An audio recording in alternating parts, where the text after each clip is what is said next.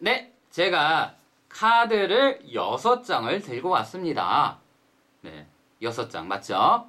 자, 제가 카드를 좀 몇 번만 이렇게 섞을게요. 이 중에서 원하는 카드 한 장을 선택을 해주시면 되겠습니다.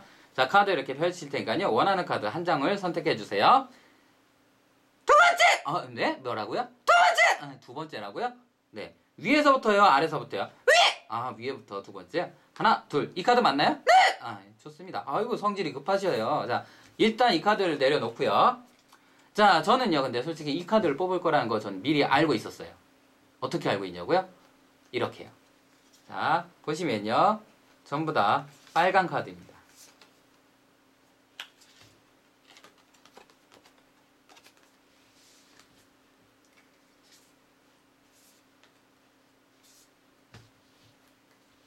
자, 근데 놀랍게도요. 이 카드 하나만 짜잔!